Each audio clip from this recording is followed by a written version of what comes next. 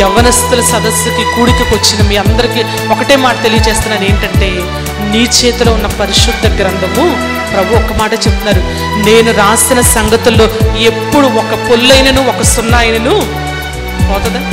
ఆయన ధర్మశాస్త్రంను కొట్టివేయడానికి కాదు కానీ ఆయన నెరవేర్చడానికే ప్రభు ఈ లోకానికి వచ్చారు. లోతు కుమార్తెలకు కూడా ఎన్ని గడువులు ఇచ్చిన దేవుడు వారు నిర్లక్ష్యం చేసుకున్నారు నేటి కాలంలో ఈ తరగతుల ద్వారా అనేక మంది నిన్న కొత్తగా వచ్చానని చేతులు ఎత్తారు. వచ్చిన ప్రతి ఒక్కరు ఒక్కొక్క స్త్రీని గురించి మీరు అవగాహన చేసుకోండి. ఎలా ఉండాలి అనేది నేర్చుకోండి. ఎలా ఉండకూడదు దేవునితో సహవాసం చేస్తే ఎలాంటి మీరు కష్టం వచ్చినా ఆయన చేయి విడవద్దు.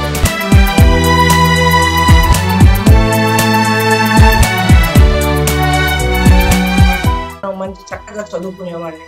దేవునిలో భయభక్తులు కలిగి ఉన్నవాడిని తర్వాత మంచి క్యారెక్టర్ కలిగిన వాడిని అట్లాంటి వాళ్ళని మనం ఎంపిక చేసుకున్నాం అనుకోండి అది మంచి దారికి గమ్యానికి మనల్ని తీసుకునేస్తుంది లేదు అంటే మన మన ఎంపికలో మన సమయం ఎలాగా మనం ఏంటి ఎంచుకుంటున్నాం ఎలాగా మనం స్పెండ్ చేస్తున్నాం. మనకున్న దేవుడు మనకి ఇచ్చిన శక్తిని ఎలా స్పెండ్ చేస్తున్నాం. మన యొక్క ఎబిలిటీస్ మన సామర్థ్యాన్ని ఎలా స్పెండ్ చేస్తున్నాం. దేవుడు మనకిచ్చిన తలాంతుల్ని ఎలాగా స్పెండ్ చేస్తున్నాం? దేవుడు మనకిచ్చిన గ్యాడ్జెట్స్ని ఎలాగ స్పెండ్ చేస్తున్నాం? దేవుడు మనకిచ్చిన పాకెట్ మనీని ఎలాగ స్పెండ్ చేస్తున్నాం? మన యొక్క స్టడీస్ని ఎలా చదువుకుంటున్నాం? ఈవెన్ మన శరీరం. ఎంతమంది అమ్మాయిలండి? ఎంతమంది అమ్మాయిలు? నాకు తెలుసు చాలా మంది వాళ్ళ యొక్క శరీరాన్ని అనవసరమైన విషయాల కోసం వాడుకుంటున్నారు. కాబట్టి ఎప్పుడైనా సరే మరి పాపం అనేది మన జీవితంలో ఒక్కసారి మనం అది దాన్ని అనుమతిస్తే అది లీక్ అవుతుంది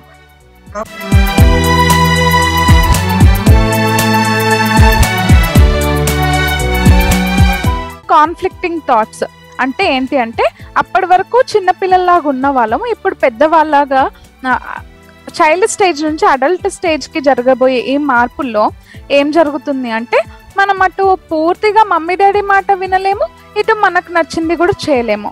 ఇలాంటి సందిగ్ధ భావంలో ఉంటారనమాట బైబిల్ చదువుకొని ప్రార్థన చేసుకొని సండే స్కూల్ రెగ్యులర్గా అటెండ్ అయ్యి ఎస్పెషల్లీ ఈ చెప్పాను కదా ఇదంతా అడాలసెంట్ స్టేజ్లో మనం వీటన్నిటికీ లోకాశలకు వెళ్ళిపోవచ్చు.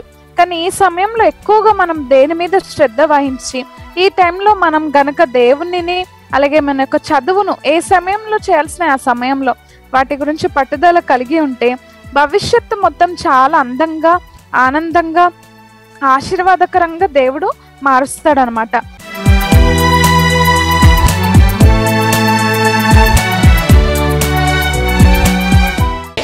బైబిల్ మిషన్ యొక్క శక్తి బైబిల్ మిషన్లో ఉన్న ప్రార్థన శక్తి ప్రార్థన వాలు దాని శక్తి అనుభవించిన వ్యక్తిని నేను. సన్నిధి అలవాటు యవన వయసులో చాలా చాలా ఇంపార్టెంట్. ఎందుకు చెప్తున్నానంటే యవన వయసులోనే నాకు ఇరవై ఏట రాకముందునే ఆ సన్నిధి అలవాటు ఉండబట్టి దేవుని యొక్క వెలుగుని చూస్తూ ఉన్నాను. ఈ దినాన్ని కూడా నేను మీరు మీరు అనుకోవచ్చు నా- నా నా వయసు అరవై అనే చెప్తున్నాను అరవై నాకు.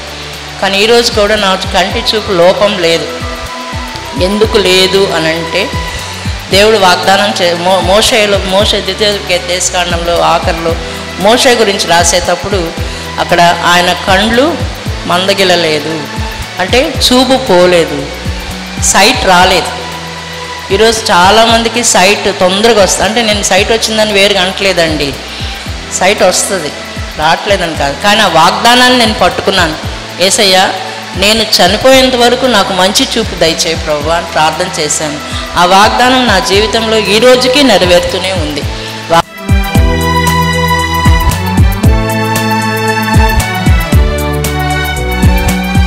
ఈరోజు నాకు ఇవ్వబడిన అంశము యవన కాలంలో దేవుని మనస్సు తెలుసుకుని మంటి నుండి మింటికి ఎదిగిన వనిత సిప్పోరా. ఆకాశంలో ఎగురుతున్న ఈ పక్షులు దేవుని వైపు చూస్తాయి దేవుని మీద ఆధారపడతాయి దేవుని మీద ఆనుకుంటాయి. దేవుడే మమ్మల్ని పోషిస్తాడు దేవుడే మాకు ఆహారం పెడతాడు అని పక్షులు ఎలాగైతే దేవుని మీద ఆధారపడతారో అలాగే సిప్పోర అనబడుతున్న అర్థం కలిగిన ఈ పక్షి లేకపోతే ఈ పిచ్చుక అనబడుతున్న ఈ సిప్పోర కూడా ఎవరి మీద ఆధారపడిందట? దేవుని మీద ఆధారపడింది. తన యాజకుని కుమార్తెగా ఉన్నప్పటి నాటి నుండి తను వివాహం చేసుకున్న తర్వాత కూడా ఎవరి మీద ఆధారపడిందట? దేవుని మీదే ఆధారపడిన స్త్రీగా ఉంది.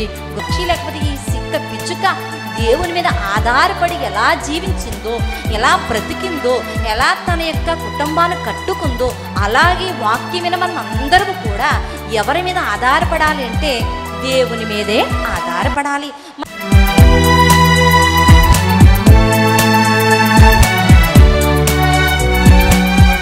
దేవుడంట మనల్ని ఆయన యొక్క ఏర్పాట్లో కానీ ఆయన చిత్తంలో కానీ వాడుకోవాలంటే ముందుగా మనలో ఏముండాలండి? పరిశుద్ధత ఉండాలి. పరిశుద్ధత లేకుండా ఎవరును దేవుని యొద్దకు రాలేరు. పరిశుద్ధత లేకుండా ఎవరును దేవునిని చూడలేరు. కాబట్టి నేటి దినమ పరిశుద్ధత అన్నది చాలా కొదువుగా ఉన్నట్లు మనము చూస్తున్నామండి.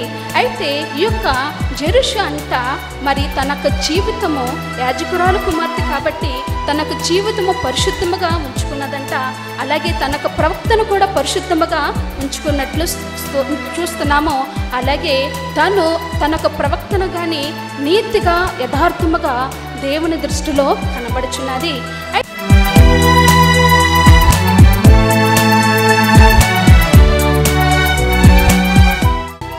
తల్లిదండ్రుల మాటను వినకుండా త్రోసిపుచ్చి ఎందరో జీవితాలు నాశనం చేసుకుంటున్నారు. అవునంటారా కాదంటారా? కాబట్టి మనం అలాగునా ఉండకూడదండి. తల్లిదండ్రుల మాట వినాలి వాక్యం చెప్తుంది. నీ తల్లిదండ్రులను సన్మానింపుము అని. కాబట్టి మనం తల్లిదండ్రుల మాట వినాలి అలాగే పెద్దలు చెప్పిన మాట వినాలి. లోకంలో ఒక సామెత ఉంది పెద్దల మాట కదా? పెద్దల మాట పెద్దన్నం మూట అని. పిల్లారా కాబట్టి మనం ఏం చేయాలమ్మా? ఎవరు చెప్పినా వినాలి. తల్లిదండ్రుల మాట వినాలి పెద్దల మాట వినాలి. ఎవరు ఏది చెప్పినా కూడా విని మనం మేలైన దానిని చేపట్టి దానిని అనుసరించి నడుచుకోవాలి. మనం వినకుండా ఉండకూడదు.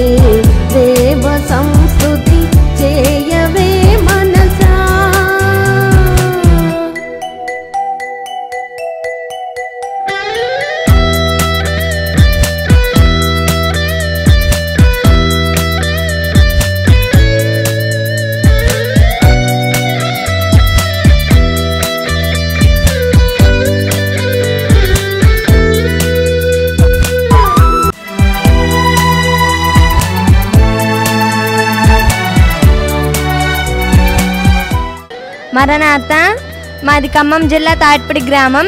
ఇక్కడికి మేము రెండు రోజులు ఉండడానికి వచ్చాము. ఇక్కడ చాలా బాగుంది. ఇక్కడ అన్ని ఫెసిలిటీస్ మాకు అవైలబుల్గా ఉన్నాయి. ఏది కావాలన్నా మంచిగా అమ్మగారులు ఎక్స్ప్లెయిన్ చేశారు. వాక్యం వాక్యం నేను మే- మేము నేర్చుకున్నాము. షేబా దేశపు రాణి ఆ, గురించి గూర్చి గొప్పగా వివరించింది. దాని గురించి మేము నేర్చుకున్నాము. థ్యాంక్ యూ భోజనాలు చాలా సౌకర్యంగా పెట్టారు చాలా బాగున్నాయి. నా పేరు సుమ నేను ఖమ్మం డిస్టిక్ తాటిపూడి గ్రామం నుంచి వచ్చాను. ఇక్కడ భోజనాలు చాలా బాగున్నాయి మాకు చికెన్ వంకాయ కర్రీ బీరకాయ చట్నీ పెట్టారు. థ్యాంక్ యూ మన్నాత నా పేరు అనూష నేను బాపట్ల దగ్గర ఉన్న కర్లపాలెం నుంచి వచ్చాను. ఈ యవనస్తుల కొడుకు వల్ల నేను ఎంతో బలపడ్డాను? లోతు గురి లోతు కు- కూతుల గురించి లోతు కు- కూతుల గురించి శేబా దేశపు రాణి గురించి ఎంతో బలపడ్డాను ఎంతో నేర్చుకున్నాను యవనస్తులతో యవనస్తుల కొడుకు వల్ల ఎంతో బలపడ్డాను. ఈ కూడికల వల్ల ఎంతో బలపడడం వల్ల ఎంతో మార్పు చెందాము. అందరికీ మన్నాత this is దివ్యాదిరా and I'm from Guntur. ఈ టూ డేస్ కూడా చాలా గ్రాండ్గా జరిగినాయి మీటింగ్స్ అన్నది. అండ్ వెరీ నెక్స్ట్ మెసేజెస్కి వచ్చేసరికి ఈ జనరేషన్ యూత్కి ప్రాబ్లమ్స్ ఫేస్ చేస్తున్నారు. అండ్ వాళ్ళు సైకలాజికల్గా కానీ స్పిరిచువల్గా కానీ ఫేస్ చేస్తున్న ఈచ్ అండ్ ఎవ్రీ ప్రాబ్లం గురించి చెప్పారు.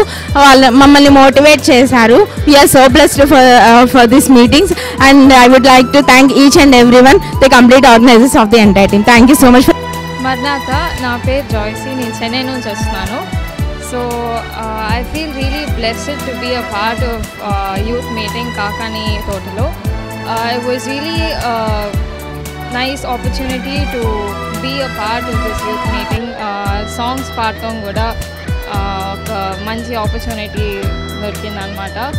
I I really had an amazing time two days ఈ టూ డేస్ బాగా మంచి టైం స్పెండ్ చేసాము వీ చాలా మెసేజెస్ మేము విన్నామన్నమాట.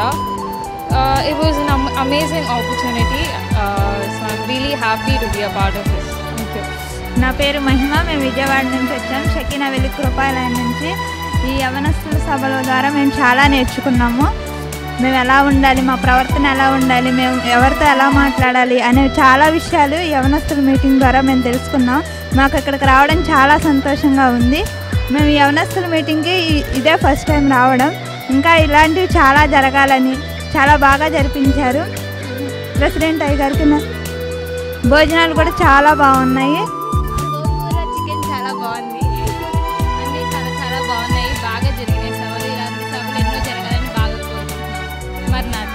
విజయవాడ నుండి వస్తున్నాను.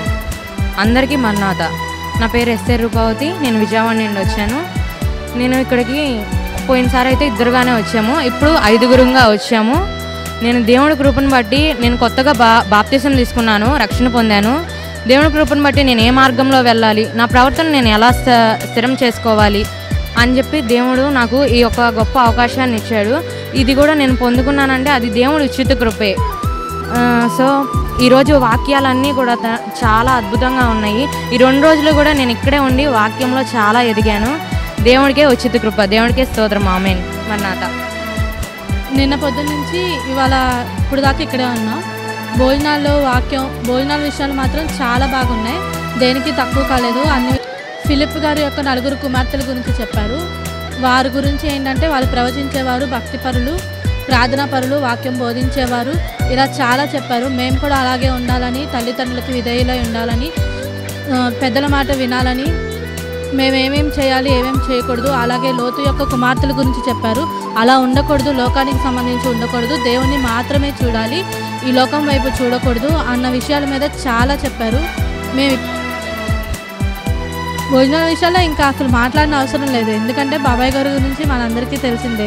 మార్నింగ్ వచ్చిన టిఫిన్ కానించి భోజనాల దాకా మధ్యలో స్నాక్స్ టీ అన్నీ చాలా బాగున్నాయి. ఎవరికి ఏం తక్కువ కాలేదు ఇంకా చెప్పాలంటే వేడివేడిగానే వచ్చినాయి అందరి దగ్గరికి. పేరు నేను బొంతపాడు నుండి వచ్చాను. నేను ఇక్కడికి అసలు యాక్చువల్లీ నాకు తెలీదు ఈ మీటింగ్స్ అన్ని.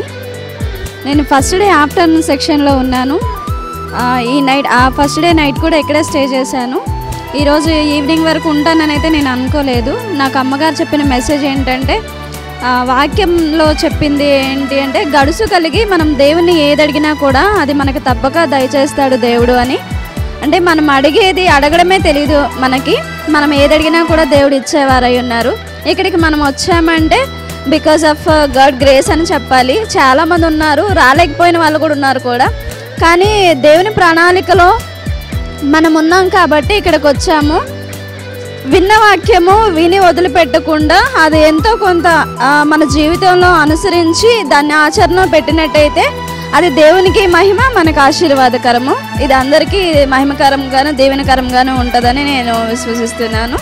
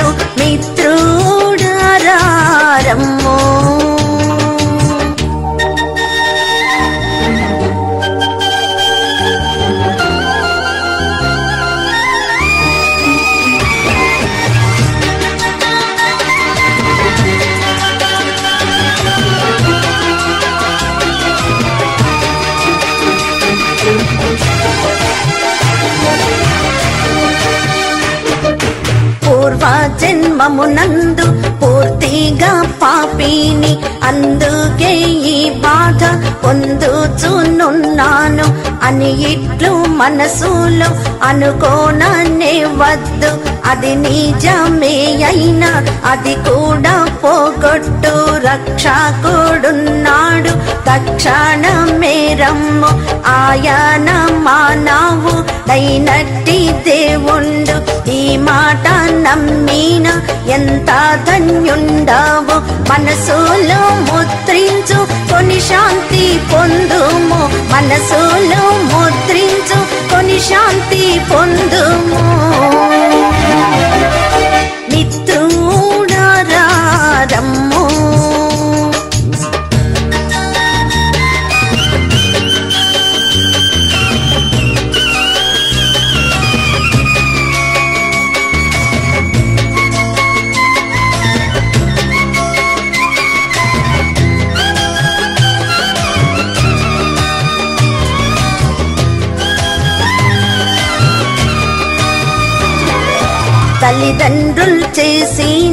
తగని కార్యంబులు నా మీదికే పొల్లి నన్ను చంపుచున్నావి. ఆశపామును నేను అడ్డగింపలేను. అని పల్కూచును నీవు అదరిపోకూడదు పాపమని తెలియని పాపాలు ఎన్నెన్నో చేయబట్టి ఇన్ని చిక్కులు నన్ను చుట్టి అని లేని పోనట్టి వనుకోనకుండుమో నీ పాప కంటే నీ తండ్రి దయ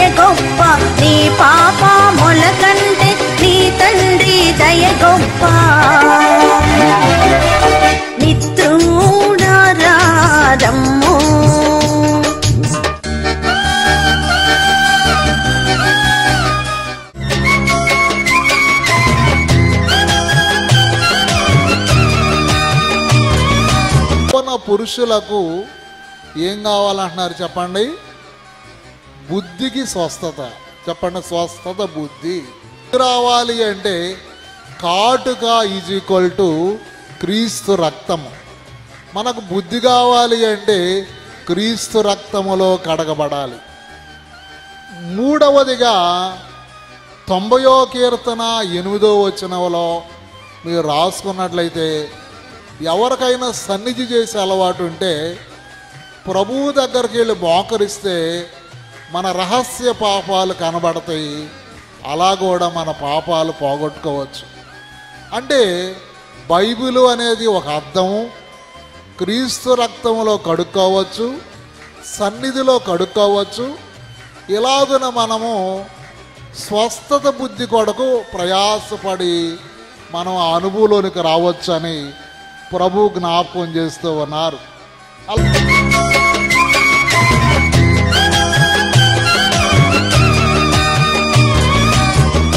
కానీ నా ఒక రాకముందు ఒక మాట చెప్తున్నా. ఎందుకు మనం సంబరములు చేసుకోవాలి?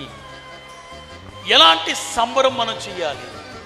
లోకములు యవనస్తులు అనేక విధాలుగా ఆనందిస్తుండగా బైబిల్ మిషన్ యవనస్తులు ఎలాగ ఆనందించాలి?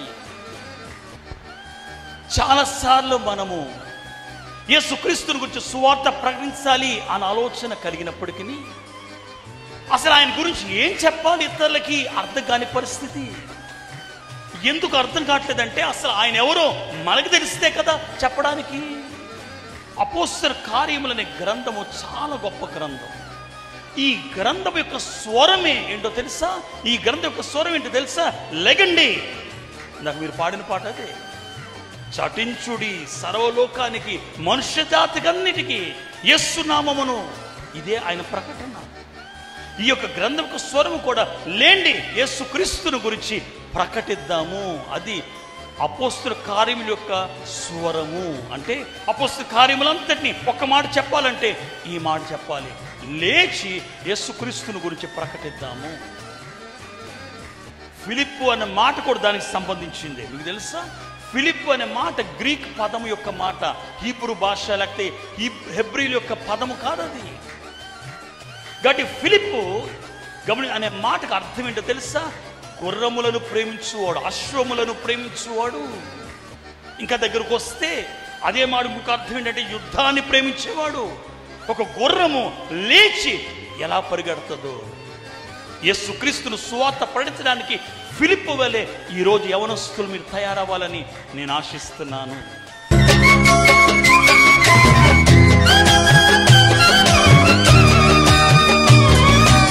చాలా మందికి ఉన్నతమైన పేర్లుంటాయి కానీ ఉన్నతమైనటువంటి స్థితిగతులు ఉండవు.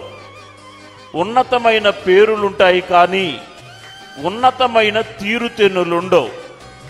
ఉదాహరణకు యోబు అనే పేరు పెట్టుకుని జోబు కొడుతున్నాడు అనుకోండి అది పేరుకు తగిన జీవితం కానే కాదు.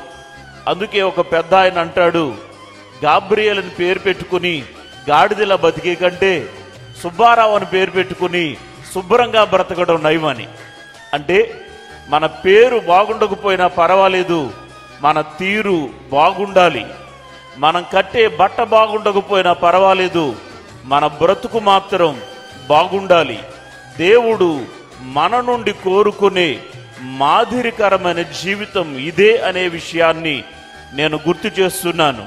ఎఫఫరా తన పేరుకు తగిన జీవితాన్ని కలిగినవాడు. ఈవేళ ఇక్కడ కూడి ఉన్న మనందరికీ కూడా వివిధమైన పేర్లు ఉండొచ్చు. కానీ అందరికీ ఉన్న ఒక పేరేంటో తెలుసా? యేసు క్రీస్తు యొక్క నామాన్ని మనం ధరించాం. అందుకే దైవజనుడు అన్నారు బాప్తిష్మ కీర్తనలో క్రీస్తు నామము దాల్తుము అన్నారు. మనందరికీ ఉన్న పేరేంటో తెలుసా?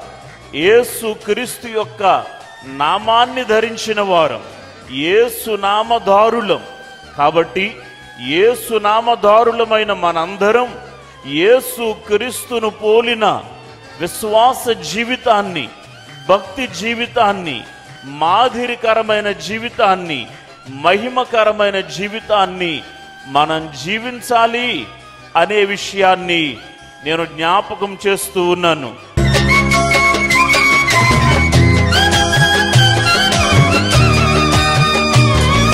ప్రభునందు ప్రేమైన వారులారా నేటి కాలంలో తొలలేని వారు చక్కగా తన బిడ్డలైన వారిని దేవుని యొక్క సన్మార్గంలో సన్నిధులు పెంచుతున్న వారయ్యున్నారు సమయలు కూడా అలాగే పెరిగాడు. ఎక్కడ?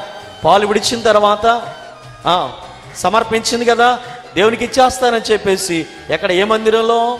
షీలోహులో ఉన్న మందిరంలో అప్పగించేస్తుంది ఎప్పుడైతే అప్పగించబడ్డాడో చక్కగా యథార్థంగా నడుస్తూ కుడికి కానీ ఎడమ కానీ తొలగిపోకుండా చక్కగా భయభక్తుల్లో పెరిగాడంట సమయలు.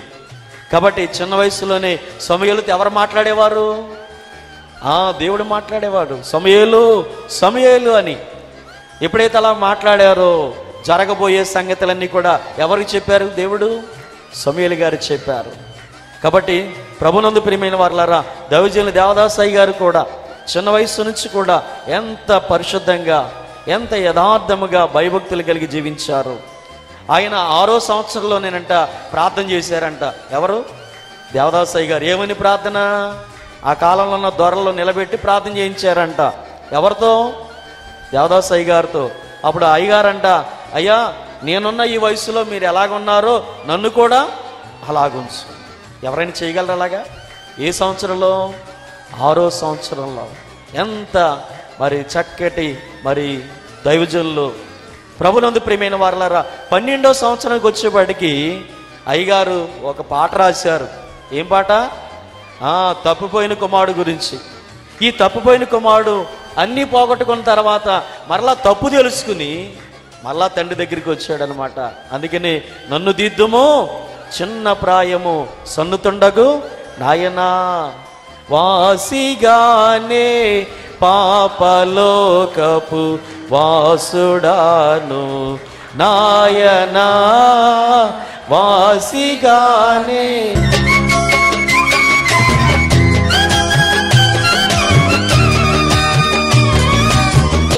మనందరం కూడా యవనస్తుల ఆధ్యాత్మిక సంబరములో ఉన్నాం. సంబరము అనేది సాతో ప్రారంభమయ్యి మూతో ముగుస్తుంది.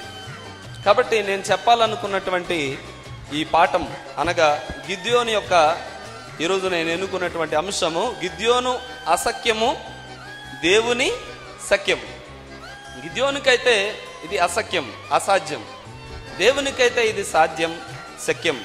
అని బోధిస్తూ ఉండటంలో గిద్యోని యొక్క జీవితాన్ని వివరించడానికి సంబరము అనే పదంలో మొదటి అక్షరం సాతో మొదలయ్యి చివరి అక్షరం మూతో మొద మరి ముగుస్తుంది కాబట్టి ఐదే ఐదు పదాలతో గిద్యోని యొక్క జీవిత చరిత్రని మీ ముందు ఉంచాలని నేను ఆశపడుతున్నాను. మీరు వినడానికి ఆశపడుతున్నారా? ఆశపడుతున్నారా లేదా? ఓకే మరి ఐదు పదాలు ఏంటో ముందు నేను చెప్తాను ఆ తర్వాత ఒక్కొక్క పదాన్ని నేను వివరించుకుంటూ ముందుకెళ్తాను మరి ఐదు పదాలు మీకు ప్రొజెక్ట్ చేయబడతాయి చూడండి. మొట్టమొదటిది గిద్యోను స్థానము నంబర్ వన్. స్థానము అంటే పొజిషన్. ఏ స్థానంలో ఉన్నాడు అతడు. దేవుడు అతన్ని పిలిచేసరికి అతని స్థానం ఏంటి అనేది చూడబోతున్నాం. క్రానలాజికల్ ఆర్డర్లో బైబిల్లో జరిగిన సన్నివేశాలన్నీ కూడా ఐదు పదాల్లో అతని చరిత్రని నేను ఈరోజు మీకు వివరించి చెప్పాలనుకుంటున్నాను. రెండవది గిద్యోను సముదాయము. రెండవది ఏంటి చెప్పండి? గిద్యోను? రెండవది. మూడవది గిద్యోను సైన్యం.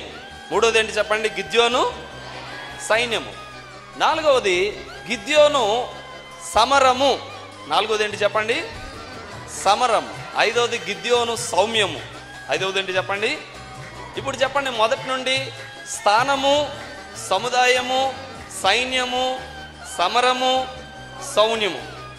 ఈ ఐదు అక్షరాలు కూడా సంబరము అనేది సాతో మొదలయ్యి మూతో ముగిసినట్లుగా ప్రతి పదం కూడా సాతో మొదలయ్యి మూతోనే ముగుస్తుంది.